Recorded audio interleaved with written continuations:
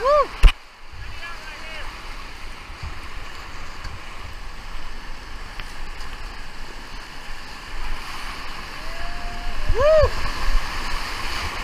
Yeah, man. That's some burly shit, wasn't it? Fuck yeah.